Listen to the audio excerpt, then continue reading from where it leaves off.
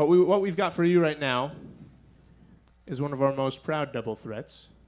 Alex Dugdale is going to tap dance for you.